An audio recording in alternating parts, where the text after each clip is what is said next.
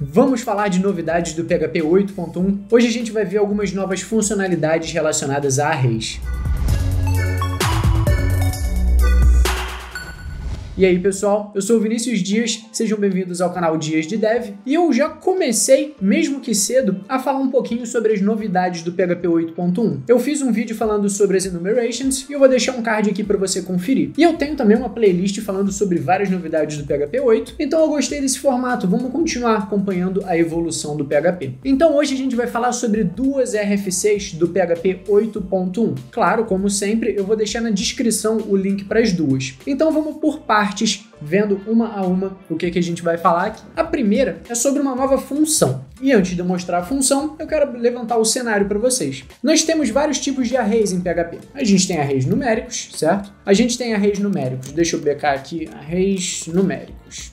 Numéricos. Nós temos arrays, arrays numéricos só que fora de ordem ou algo do tipo, não, não tem um nome específico para isso, mas são arrays onde as chaves são numéricas, mas elas não estão na ordem, como aqui.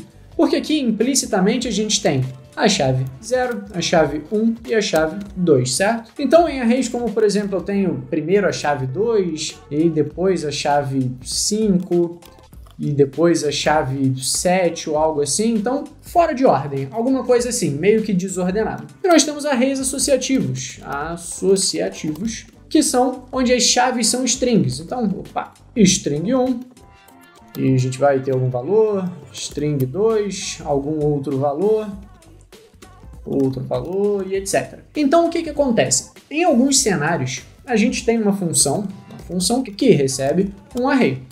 E nessa função a gente pode receber qualquer um desses tipos aqui. Pode ser um array numérico na ordem, algo semelhante a uma lista. Pode ser esse array numérico, mas que está fora de ordem, que está mais parecido com um mapa do que com um array, ou seja, ele tem alguma chave e um valor mapeado, e a gente tem aqui um array associativo, que realmente é um mapa, é um dicionário. Temos uma chave que mapeia para algum valor. Então a gente não tem como, pelo menos por enquanto, identificar esses tipos de arrays. Só que agora surgiu uma nova função que consegue identificar se esse array é uma lista, se ele é um array numérico com todas as chaves em ordem, começando do zero e sem nenhum espaço entre uma e outra. Então, se eu fizer var dump desses três aqui, de arrays numéricos, uh, arrays numéricos fora de ordem, e arrays associativos, var dump arrays associativos. Então eu tenho esses valores. Se eu fizer um var dump, obviamente eu vou ter os valores, então não é isso que eu quero mostrar. Só que eu tenho agora a nova função, que aí sim é o que eu quero mostrar, que é array is list. Então, se eu fizer um var dump na chamada dessa função para esses três valores, eu vou ter para o nosso primeiro array como verdadeiro, o retorno dela é verdadeiro, e para os outros dois o retorno é falso. Porque nesse primeiro array, todas as chaves começando em zero e em ordem até o final, sem pular nenhuma etapa. Já nesse aqui, a gente não começa com zero, então não valeria. Além disso, a gente pula do 5 vai direto para o 7, do 2 vai direto para o 5, então já não é considerado uma lista. E um array associativo,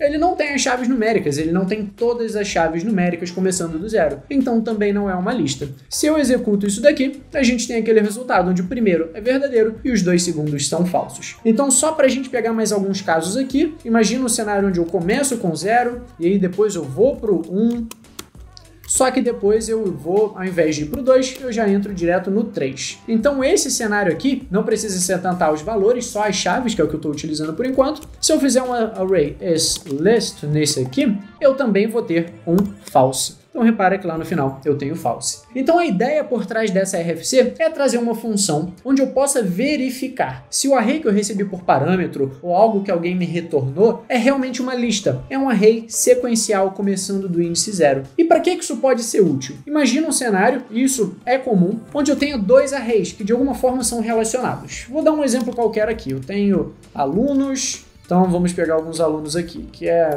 temos Ana, temos. Eita, esse teclado aqui ainda não me acostumei. Temos Maria e temos João. Não necessariamente nessa ordem, mas beleza.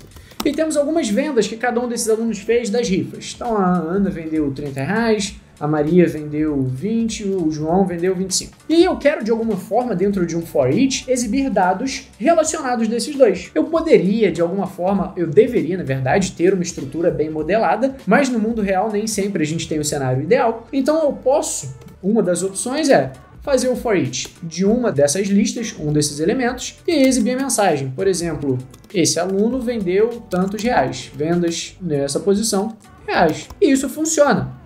Então vamos lá, opa, só que eu preciso aqui pegar o índice. Então, exatamente nesse cenário onde eu tenho dois arrays que estão de alguma forma relacionados, que eu sei que os dois são duas listas, então beleza, eu posso verificar, eu posso fazer essa associação aqui diretamente. Eu acesso dos dois arrays a mesma chave, sem precisar fazer dois for each nem nada do tipo. Então, quando eu executo, beleza, isso aqui vai funcionar. Deixa eu botar uma quebra de linha, claro, né? Só que imagina que você está recebendo esses dados por parâmetro, um array de alunos e outro de vendas. Você pode verificar que é um array, recebendo, né, botando o type hint. Você pode verificar que os, se os dois têm o mesmo tamanho, mas você não conseguiria verificar diretamente pela linguagem se os dois são listas, ou seja, se eles têm, é, começam no mesmo índice, no índice zero e são sequenciais até o final. Agora, antes de executar esse código, a gente pode adicionar uma verificação.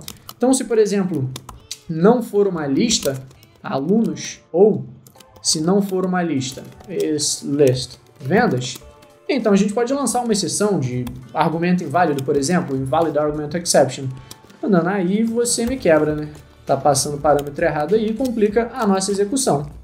Então, dessa forma, Nesse caso, ele não vai lançar a exceção. Agora, se eu venho aqui e mudo um índice e tento executar, a gente consegue lançar essa exceção. Então, a gente consegue ter uma segurança a mais. Então, essa é a RFC de ArrayIsList, bastante simples e só por ter trazido uma RFC, eu acho que eu, eu acho que já mereço curtir, né? Mas vamos continuar, porque como ela é bem curtinha, eu vou trazer mais uma. Então, vamos lá. Vou deixar isso aqui tudo comentado para não apagar, porque eu sou preguiçoso. Vai que eu preciso de alguma coisa daqui, né?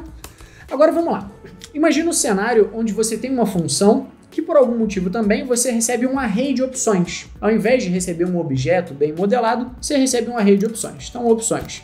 Isso vai ser um array. Só que você tem algumas opções padrão. São as opções que, se o usuário não informar, você usa o padrão. Então vamos ter lá opções padrão. E aí vamos lá, o nosso valor 1 tem como valor o número 1. E a opção 2 tem como valor o número 42, que é a resposta para todas as perguntas. E aí chegou o parâmetro da nossa função, que só mandou o valor 1. Então, o valor 1 aqui vai ser 3.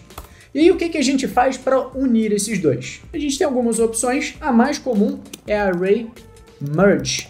Então, através do Array Merge, a gente pode pegar as opções padrão e substituir com as opções. Então, quando eu faço var dump disso daqui, eu tenho lá como resultado o valor 1 sendo sobrescrevido, mas a opção 2 continuando com o valor padrão. Só que agora a gente tem uma sintaxe um pouco mais amigável para isso. A gente já tinha coisas bastante semelhantes antes, como array unpacking, ou seja, criar um array a partir de outros. Só que esse array unpacking não funcionava com arrays que possuem strings como chaves. Agora funciona.